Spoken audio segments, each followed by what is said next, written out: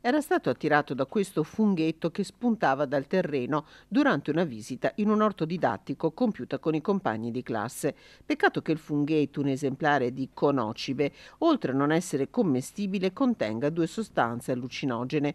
Il caso è avvenuto nella bassa padovana. Il bambino è stato subito accompagnato nella pediatria dell'ospedale di Schiavonia, dove sono intervenuti i micologi del Dipartimento di Prevenzione dell'ULS 6.